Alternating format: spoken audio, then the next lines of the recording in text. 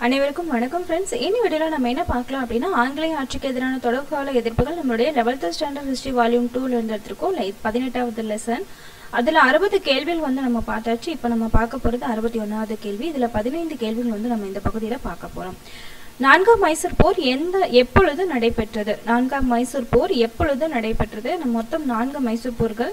First மூன்று மைசூர் போர்கள் வந்து பார்த்தாச்சு. இப்போ பார்க்கறது நான்காம் மைசூர் போர் வந்து பார்க்குறோம். எந்த வருடம் நடைபெற்றது? ஆயிரத்தி எழுநூத்தி தொண்ணூத்தி ஒன்பதுல நான்காம் மைசூர் போரானது நடைபெற்றது. ஆயிரத்தி எழுநூத்தி அறுபத்தி ஏழு அறுபத்தி ஒன்பது பாத்தீங்கன்னா முதலாம் மைசூர் போரானது நடந்திருக்கும். அடுத்தது பாத்தீங்க அப்படின்னா ஆயிரத்தி எழுநூத்தி எண்பது பாத்தீங்கன்னா இரண்டாம் மைசூர் போர் வந்து நடந்திருக்கும். நெக்ஸ்ட் பாத்தீங்க அப்படின்னா ஆயிரத்தி எழுநூத்தி தொண்ணூறு தொண்ணூத்தி ரெண்டு பார்த்தீங்கன்னா மூன்றாம் மைசூர் போரானது வந்து நடந்திருக்கும். சரிங்களா? ஆயிரத்தி எழுநூத்தி தொண்ணூறு தொண்ணூற்றி ரெண்டில் மூன்றாம் மைசூர் போர் வந்து நடந்திருக்கும். நெக்ஸ்ட் பார்த்தீங்க அப்படின்னா நான்காம் மைசூர் போர் வந்து ஆயிரத்தி எழுநூற்றி தொண்ணூற்றி ஒன்பதில் நான்காம் மைசூர் போரானது நடந்திருக்கும். ஓகே நெக்ஸ்ட் பாருங்க. அறுபத்தி ரெண்டாவது கொஸ்டின் திப்பு மீண்டும் பாரிஸுக்கு எப்பொழுது தனது தூதுக்குழுவினரை வந்து அனுப்புறாரு? திப்பு வந்து பாரிஸுக்கு ஹெல்ப் பண்றதுக்காக எப்பொழுது தனது தூதுக்குழுவினரை வந்து அனுப்பினார்? ஆயிரத்தி எழுநூத்தி தொண்ணூத்தி ஆறு. ஆயிரத்தி எழுநூத்தி தொண்ணூத்தி ஆறு. அதாவது உடையார் வம்ச அரசர் ஒன்பதாம் சாம்ராஜ் வந்து இறந்திருப்பார் இல்லையா? ஆயிரத்தி எழுநூத்தி தொண்ணூத்தி ஆறு. அந்த வருடம் தான் பாத்தீங்க அப்படின்னா பாரிஸுக்கு வந்து திப்பு வந்து மீண்டும் தனது மீண்டும் அதாவது ஏற்கனவே வந்து பாரிஸுக்கு அனுப்பியிருக்காரு. மீண்டும் அனுப்புனது பாத்தீங்க அப்படின்னா ஆயிரத்தி எழுநூத்தி தொண்ணூத்தி ஆறுல. ஓகே நெக்ஸ்ட் பாருங்க. அறுபத்தி மூன்றாவது கேள்வி.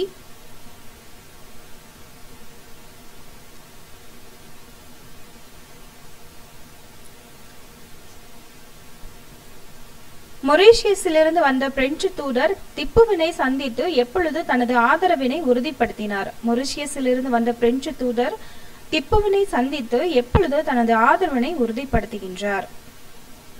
ஆயிரத்தி எழுநூத்தி தொண்ணூத்தி ஏழு. ஆயிரத்தி எழுநூத்தி தொண்ணூத்தி ஏழுல வந்து தன்னுடைய ஆதரவு திப்புவுக்கு வந்து ஆதரவு தெரிவிக்கிறேன் அப்படிங்கறது வந்து உறுதிப்படுத்தியது எந்த வருடம் அப்படின்னா ஆயிரத்தி எழுநூத்தி தொண்ணூத்தி ஏழுல. ஓகே நெக்ஸ்ட் அறுபத்தி நான்காவது கேள்வி பார்க்கலாம். பிரான்சில் உள்ளது போன்றே ஸ்ரீரங்கப்பட்டினத்திலும் எந்த கழகம் துவங்கப்பட்டது? பிரான்சில் உள்ளது போன்றே ஸ்ரீரங்கப்பட்டினத்திலும் எந்த கழகம் துவங்கப்பட்டது? இப்போ வந்து பாரிஸ்க்கு போயிட்டு பாரிஸ்ல இருந்து ஹெல்ப் கேட்கிறாரு அப்போ பாரிஸ்ல இருந்து வந்து ஓகே ஹெல்ப் பண்றேன் அப்படின்னு சொன்ன பாத்தீங்க அப்படின்னா பிரான்ஸ்ல இருக்கிற மாதிரி ஒரு கல்வி கழகத்தை வந்து இங்க கொண்டு வராங்க. ஸ்ரீரங்கப்பட்டினத்துல. அது என்ன அப்படின்னு பாத்தீங்கன்னா ஆப்ஷன்ல பாருங்க. ஜேகோபியர் கழகம். சி தான் கரெக்டான ஆன்சர் ஜேகோபியர் கழகம் தான் பிரான்ஸில் இருக்கிற மாதிரியே ஸ்ரீரங்கப்பட்டினத்திலையும் கொண்டு வந்திருக்காங்க. பிரான்ஸில் ஏற்கனவே ஜேகோபியர் கழகம் இருக்கு. அதே மாதிரி ஸ்ரீரங்கப்பட்டினத்திலையும் கொண்டு வந்திருக்காங்க. அது ஜேகோபியர் கழகம். ஓகே நெக்ஸ்ட் அறுபத்தி ஐந்தாவது கேள்வி பார்க்கலாம். நான்காம் மைசூர் போருக்கான காரணங்கள் என்ன? முதல் மூன்று மைசூர் போருக்கான காரணங்கள் நல்லா தெளிவா படிச்சுக்கோங்க. நெக்ஸ்ட் பாத்தீங்கன்னா நான்காம் மைசூர் போருக்கான காரணங்கள் பார்க்கலாம். நான்காம் மைசூர் போருக்கான காரணம் என்ன அப்படின்னா துணைப்படை திட்டத்தை வந்து திப்பு ஏற்கல. அதனாலதான் வந்து துணைப்படை திட்டத்தை கொண்டு வந்தது யாரு? வெல்லஸ்லி பிரபு. அதனாலதான் நான்காம் மைசூர் போர் வந்து திப்புவின் மேல அறிவிக்கப்பட்டது. துணைப்படை திட்டத்தை ஏற்கவில்லை. ஓகே நெக்ஸ்ட் அறுபத்தி ஆறாவது கொஸ்டின் பார்க்கலாம். ஸ்ரீரங்கப்பட்டினத்தை கைப்பற்றிய ஆங்கிலேயர் யார்? ஸ்ரீரங்கப்பட்டினத்தை கைப்பற்றிய ஆங்கிலேயர் யார்? ஆனா ஸ்ரீரங்கப்பட்டினத்தின் மேல ஏற்கனவே ஒருத்தர் வந்து முற்றுகையிட்டிருப்பாரு அது யாருன்னா கார்ன்வாலிஸ் பிரபு. நெக்ஸ்ட் கைப்பற்றியவர் யார்? நான்காம் மைசூர் போர் பக்கத்துல பாத்தீங்கன்னா யார் வந்து ஸ்ரீரங்கப்பட்டினத்தை கைப்பற்றிருப்பாரு அப்படின்னா general David Baird general David Baird தான் பார்த்தீங்க அப்படின்னா ஸ்ரீரங்கப்பட்டினத்தை வந்து கைப்பற்றியிருப்பார். ஓகே நெக்ஸ்ட் அறுபத்தி ஏழாவது கேள்வி பார்க்கலாம். திப்பு எவ்வாறு இறந்தார்? திப்பு சுல்தான் எவ்வாறு இறந்தார்?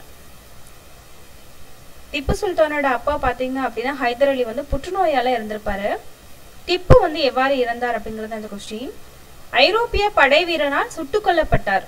திப்பு பார்த்தீங்கன்னா ஐரோப்பிய படை வீரனால் சுட்டுக் கொல்லப்பட்டார். பி தான் கரெக்டான ஆன்சர் நெக்ஸ்ட் அறுபத்தி எட்டாவது கொஸ்டின் பார்க்கலாம். வேலூர் புரட்சி எப்பொழுது நடைபெற்றது?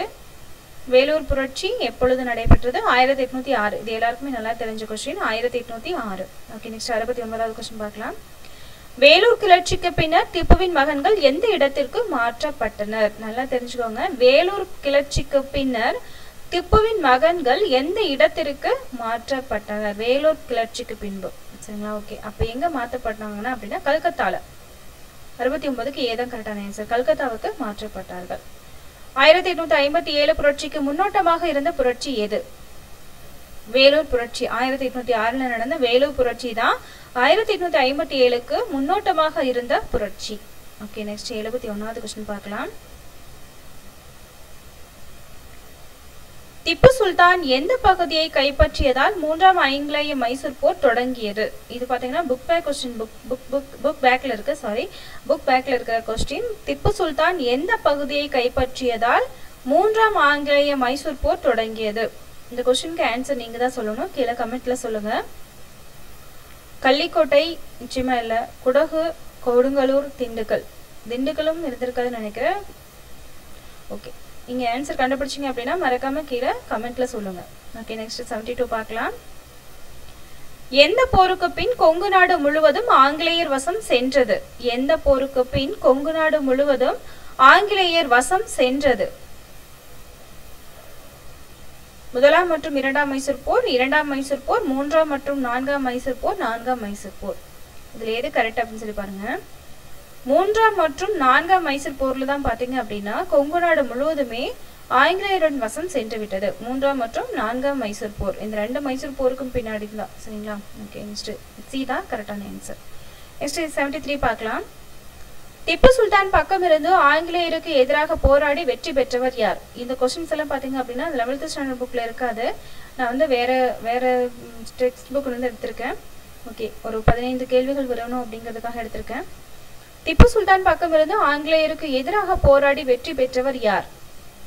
தீரன் சின்னமலை. சி தான் பார்த்தீங்க அப்படின்னா கரெக்டாக தீரன் சின்னமலை தான் திப்பு சுல்தானோட ஆதரவாக இருந்து ஆங்கிலேயருக்கு எதிராக போராடி வெற்றியும் பெற்றவர். Dheeran Chinnamalai. Next seventy four பார்க்கலாம். நான்காம் மைசூர் போருக்கு பின் திப்புவின் குடும்பத்தினர் எங்கு சிறை வைக்கப்பட்டனர் இந்த கொஸ்டினுக்கும் மேல ஒரு கொஸ்டின் பார்த்துருப்போம். அதாவது வேலூர் புரட்சிக்கு பின்னாடி பார்த்தீங்க அப்படின்னா திப்புவின் திப்புவின் மகன்கள் எங்கு சிறை வைக்கப்பட்டனர் அப்படின்னா கல்கத்தாவுல நெக்ஸ்ட் இங்கே நான்காம் மைசூருக்கு போருக்கு பின் நான்காம் மைசூர் போருக்கு பின் திப்புவின் குடும்பத்தினர் எங்கு சிறை வைக்கப்பட்டனர்? வேலூர் கோட்டை.